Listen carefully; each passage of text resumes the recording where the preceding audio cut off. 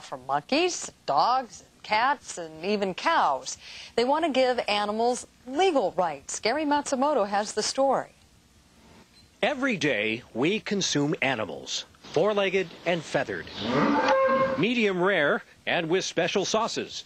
But Elsie the cow might someday be protected by something akin to what our founding fathers envisioned for human beings, a Bill of Rights for animals, a right not to be eaten, for instance, or ridden.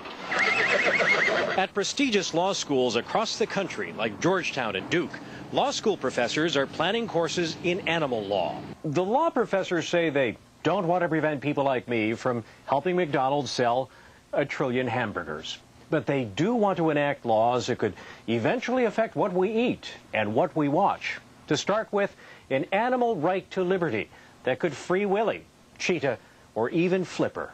The animals that would might have a right to liberty uh, would be those that are highly sentient, that is, uh, thinking and aware and cognitive, quite possibly for a dolphin, an, an orca, perhaps a chimpanzee. The envisioned laws would stop experimentation on our primate cousins.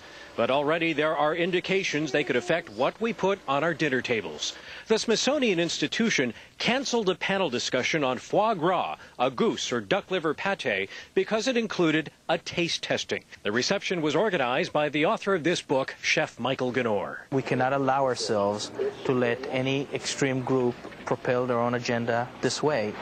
Our barnyard animals aren't about to become protected species, but in the long run, they could challenge the view that we have an inalienable right to make them lunch. In New York, Gary Matsumoto, Fox News.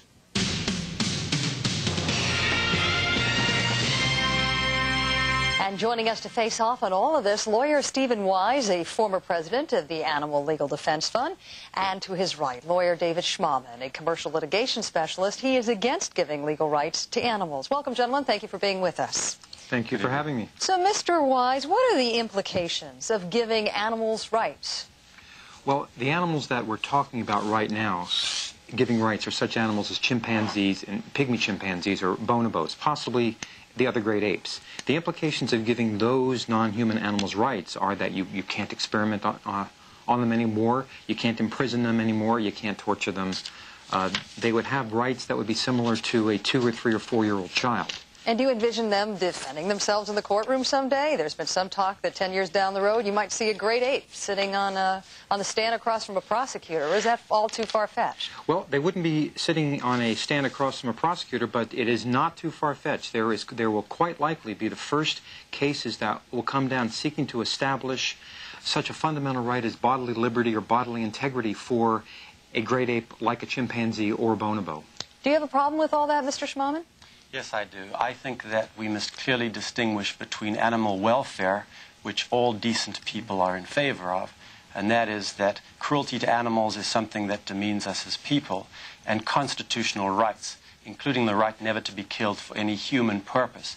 Animals are abused, but it remains a big leap to say that the only way to remedy this is to give them access to courts and to lawyers. Do you think that's what they're really saying, that that is the only way to remedy this? Or, or, or don't you, in fact, think this would help in, uh, improve the treatment of animals? No, I think that what the animal rights movement, uh, specifically the lawyers who are involved in the animal rights movement, are trying very hard to do is to, in fact, give them access to courtrooms and lawyers and the ability to bring lawsuits and to be litigants themselves of their own right in court. Mr. Wise? Is, is, is, he, he's basically accusing you, I guess, of, of creating frivolous lawsuits, no? Oh, I don't think he's accused me of, uh, accusing me of engaging in frivolous lawsuits. I, I think if he were the judge, uh, he would find against me.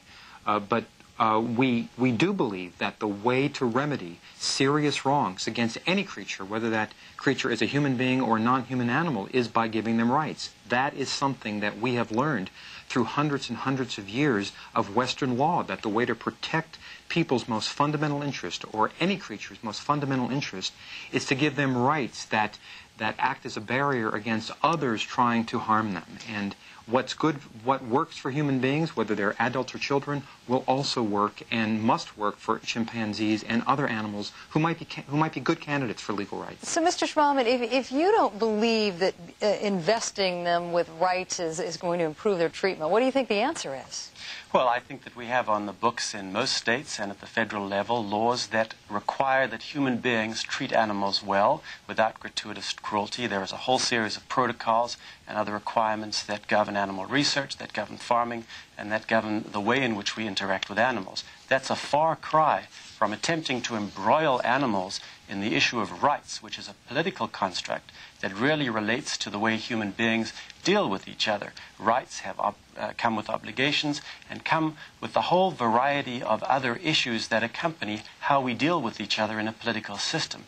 I don't think that animals who lack the capacity to reason and who lack the capacity to make moral judgments really are able to participate in the rights structure of our society. And in fact, what Mr. Wise really is inviting is a huge bureaucracy to intervene between humans and animals in almost every facet of their life, either a government bureaucracy or an army of lawyers like Mr. Wise, who will tell us what those rights are and in fact, I think encroach quite seriously on the liberties of all of the rest of us. Mr. Wise, you get the last word this evening. Well, Abraham Lincoln said, in, in giving freedom to the slave, we assure freedom to the free. Lincoln understood that by giving fundamental rights to the most despised, we assure the fundamental rights of the rest of us. And by denying such animals as chimpanzees who are entitled to have their fundamental interests protected by legal rights, by denying this to them, we actually undermine our own liberties. Steven Wise. David Schmahmann, thank you very much for your time this evening. Thank you. Thank you. Appreciate your dropping by. Coming up, we're going to change our focus quite a bit. President Clinton faces the cocaine question, and Britain's Prince Edward turns the camera around. Freeze frame, freeze frame, freeze frame. We're going to tell you about his documentary that puts the paparazzi in the spotlight. We'll show you a little bit of it when we come back. Just won't disappear. Close